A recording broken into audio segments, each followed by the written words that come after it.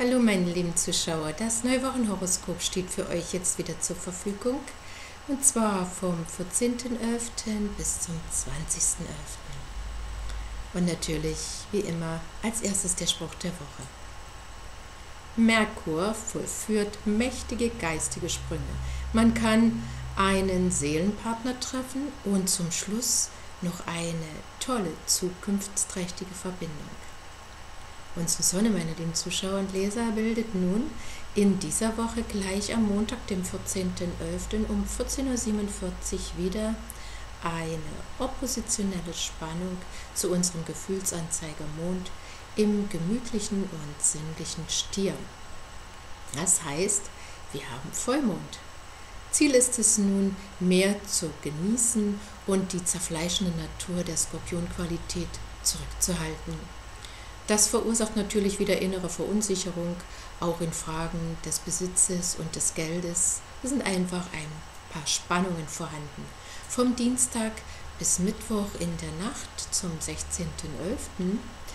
Ähm, reagieren flatterhafte, unruhige Gefühle das Geschehen. Am 17.11. und 18.11. dann kann es uns schnell mal eine Laus über die Leber laufen und die Gefühle können aus dem Ruder geraten mit der Krebsenergie in Spannung zu Pluto, dem Wandler im Steinbock. Da kann die Seele mächtigen Zwängen ausgesetzt sein und am Wochenende, 19. und 20.11. dann, ist Sonnenschein im Gemüt. Nun schauen wir mal, wie sich das mit den anderen Planetenkräften in dieser Woche ähm, verträgt der Merkur, unser Denker und Planer im freiheitsliebenden, weltoffenen und hochgeistigen Schützen, wird in der gesamten Woche von Mars, dem Energielieferanten im spirituellen, technisch und versierten, gemeinschaftsorientierten Wassermann ständig mit neuen Ideen und hochfliegenden Vorstellungen gepusht. Am Montag und Dienstag, dem 15.11., sind die Impulse noch im Rahmen, Ab Mittwoch dann, dem 16.11., wird es zunehmend unrealistischer mit der starken äh, Spannung zu Neptun, dem Verschleierer, der in den Fischen, unserem Träumer hier steht. Es können jetzt mächtige Blütengebilde im Kopf kreiert werden. Am besten lassen sie sich natürlich in einem Roman und durch andere künstlerische Tätigkeiten verarbeiten. Zur Umsetzung fehlt jedoch im Moment eher der Realitätsbezug. Es können keine klaren Ziele erkannt werden und die Fantasien schwirren jetzt in alle Richtungen. Das lädt natürlich dann auch dazu ein, richtig aus dem Ruder zu kommen selber. Wichtig ist, nicht vollständig den Boden unter den Füßen zu verlieren, aber hier spielen natürlich auch immer die persönlichen Horoskopdaten eine sehr wichtige Rolle. Wer da jetzt wieder genauere Informationen wünscht, der kann das ganz einfach wieder bei mir unter www.bärbel-reu.com slash kostenlose-beratung slash erfahren. Venus, unser Liebesplanet im Steinbock, steht unabhängig von Merkurs Geistesverrenkung und sie bestrahlt unseren Seelentieftaucher Neptun positiv. Und auch unser Schicksalspunkt Mondknoten in der Jungfrau ist dazu positiv platziert. Mit äh, Venus, Neptun und Mondknoten geht es gut strukturiert, organisiert, finanziell durchkalkuliert ans Werk unter dem Motto der Jungfrau dienen, helfen und heilen. Und das Ganze ist sehr zielgerichtet. Es sind damit keine schnellen Erfolge vorprogrammiert, aber dafür ein stetig schrittweise Vorankommen angezeigt. Im persönlichen Bereich und natürlich für alle geschäftlichen Aktivitäten stehen hier jetzt gute Aussichten auf Wachstum und auch mit sicheren Ergebnissen an. Mit Neptun in bester Position dazu ist die Intuition ordentlich geschärft. Man kann zur richtigen Zeit am richtigen Ort genau die richtigen Dinge in die Wege leiten durch eine Art innere Führung. Man muss natürlich dafür auch offen sein. Wichtig ist es also, da, da der Merkur ja generell für äh, geistige Blüten momentan äh, steht in dieser Zeit.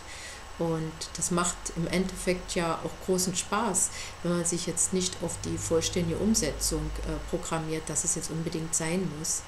Neptun und Venus in bester Position führen uns mit Menschen zusammen, die uns seelisch sehr nah sein können, Und man ist geneigt zu glauben, dass hier der Seelenpartner vor einem steht.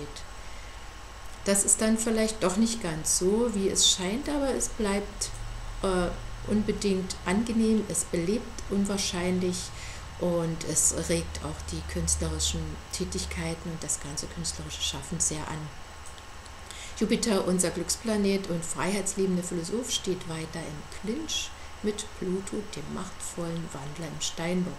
Die Behörden und Einrichtungen können hier mit den Ansichten und Vorstellungen von Jupiter keine Einigung finden. Und Pluto ist natürlich in dieser Position auch sehr machtvoll und unbeirrbar.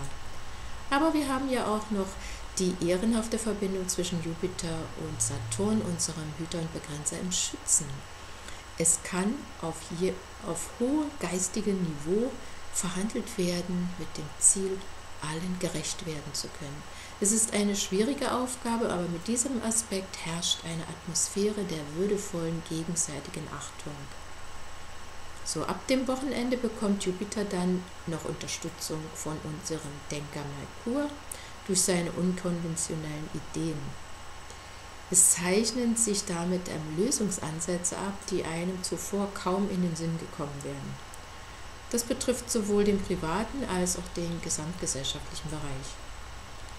Ab Samstag dann in der späten Stunde beginnt eine sehr interessante Aspektierung zwischen unserem Hüter und Begrenzer Saturn und unserem Revolutionär Uranus im Widder. Wie können jetzt revolutionäre Schwingungen mit dem Bewahrer in Einklang kommen? Es funktioniert gut mit dieser besten Position zueinander im gegenseitigen Einvernehmen hohe spirituelle Kräfte durch Menschen mit, dieser mit diesen Hintergründen vermitteln die Ansätze und die Zeichen der Zeit zum strukturierten Wandel. Und es entsteht eine Neugestaltung der Gesellschaft auf wesentlich höherem Niveau als zuvor. Das Ganze geht zugunsten naturwissenschaftlicher und universeller Gesetze des Zusammenlebens. Diese Verbindung begleitet uns ab sofort für die nächsten sechs Monate. Es kommt damit eine tolle Entwicklung in Gang.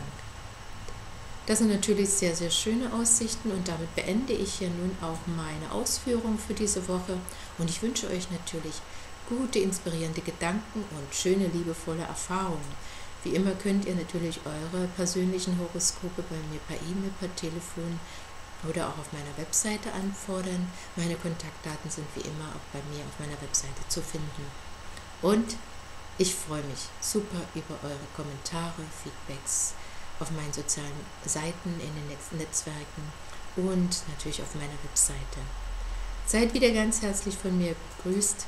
Alles Liebe von mir, Barbara Roy, eure Astrologin. Und nun tschüss bis zur kommenden Woche.